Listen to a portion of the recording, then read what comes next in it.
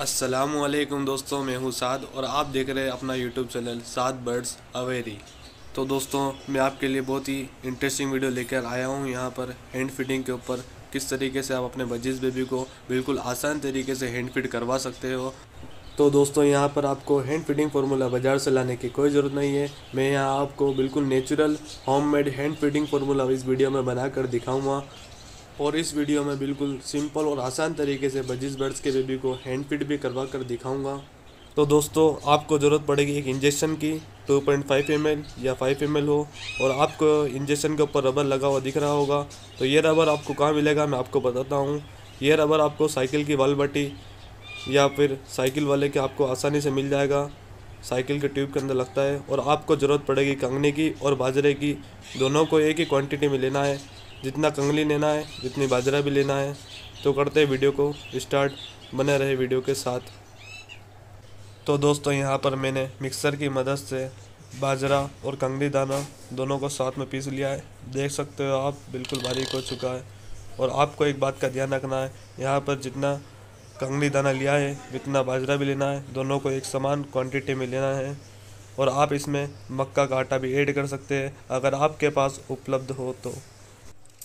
तो हमें यहाँ ज़रूरत पड़ेगी एक चाय छन्नी की, जिससे आप चाय छानते हो, और एक स्पून की, और हम यहाँ निकाल लेंगे हमारा पाउडर चाय चन्नी में, और यहाँ पे हम छानेंगे इसको बारीक बारीक पाउडर यहाँ पर निकालने के लिए, जिससे इंजेक्शन में बनने में आसानी हो।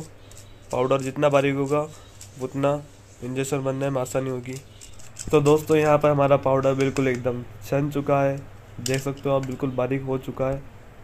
और यहाँ पर हम इसमें मिलाएँगे बॉयल वाटर गर्म पानी, चम्मच की मदद से। देख सकते हो आप। दोस्तों, आपको एक बात का ध्यान रखना है। ना आपको मिक्सर ना ज़्यादा गाढ़ा करना है, ना ज़्यादा पतला करना है। पतला करोगे तो बेबी को लूज़ मोशन होने के चांसेस हो जाएँगे और आप ज़्यादा गाढ़ा करोगे तो उसकी वजह से डाइजेस्ट होने में प्रॉब्लम होगी। आपको ना ज़्यादा गाढ़ा रखना है, ना ज़्यादा पतला रखना है। दोस्तों, आपने अगर मेरा चैनल अभी तक सब्सक्राइब नहीं करा है, आप मेरे चैनल पर नए हो तो चैनल को ज़रूर सब्सक्राइब कर ले। बर्ड की हेल्थ केयर से रिलेटेड इन्फॉर्मेशन वाली वीडियो हमारे चैनल पर मिलती रहेगी। और नेक्स्ट टॉपिक किस वीडियो पर बनाए वो भी कमेंट बॉक्स में कमेंट करके ज़रूर बताएँ। यहाँ पर ये इंजेक्शन पे निकपल कुछ ज़्यादा ही बड़ी है, जिससे फ़ीड कराने में दिक्कत होगी। तो यहाँ पे हम इसको कट कर लेते हैं और यहाँ पे आप बिल्कुल इजीली फ़ीड करवा सकते हैं हम इससे। तो दोस्तों, यहाँ पर हमारा हैंड फूडिंग फार्मूला अभी रेडी नहीं हुआ है। हम इसे मिलाएँगे। बहुत ही अच्छा मल्टीविटामिन सिरप जिसका नाम आपने सुना ही होगा वेमरल है, जो कि बहुत ही एक अच्छा मल्टीविटामिन सिरप है, जो कि हर बर्ड्स ब्रीडर यूज़ करता है। और यह सिरप बहुत ही हेल्प करेगी बजिस बर्ड्स के बेबी को ग्रो करने में। तो आपको मैं बता देता हूँ, ये कितनी डालनी है आपको। तो ढक्कन को खोल लेते हैं हम यहाँ पे और निकाल लेते हैं हम यहाँ पे सिरप को। आपको ज़्यादा नहीं डालना है, ज़्यादा डालोगे तो बर्ड्स को नुकसान हो चुका है। यहाँ पे आपको सिर्फ़ दो बूंद डालना है, एक बूंद और यहाँ पर दो बूंद। हम ढक्कन को बंद कर लेते हैं यहाँ पे और अच्छी तरीके से आपको पेस्ट को मिक्स कर लेना है, जिससे अच्छी तरीके से मिक्स हो जाए सब। तो दोस्तों, यहाँ पे आपका बिल्कुल इजीली इंजेक्शन भरा जाएगा। देख सकते हो आप। और हम यहाँ पर निकाल लेंगे मटकी में से अपने बजीज बर्ड्स के चिक्स को। और आप देख सकते हो, इसका पेट बिल्कुल एकदम खाली है भूखा है यहाँ पे। तो हम कराएँगे इसको फ़ीड और फ़ीड कराने से पहले हम कर लेते हैं यहाँ पे निप्पल को साफ़, बिल्कुल साफ़ कपड़े से निप्पल को साफ़ कर लेनी है आपको आगे से।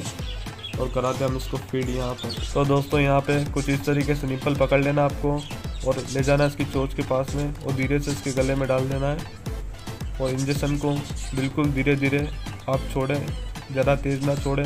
बिल्कुल देखो, आप आराम से फ़ीड कर रहा है यहाँ पे बेबी बिल्कुल आराम से छोड़े यहाँ पे इंजेक्शन बिल्कुल आराम से। देख सकते हो आप, बिल्कुल आराम से फ़ीड कर रहा है यहाँ पे। देख सकते हो अब इसका पेट भरा है या नहीं, आप यहाँ से उसकी पोटली पकड़ के चेक कर सकते हैं। अब इसका पेट थोड़ा खाली है, हम इसको थोड़ा सा और खिलाएँगे यहाँ पे। देख सकते हो अब इसका पेट खाली है। तो यहाँ से हमने इसके मुँह में डाली। थोड़ा सा और फ़ीड कराएँगे हम यहाँ पे। दोस्तों, आपको ज़्यादा नहीं खिलाना है।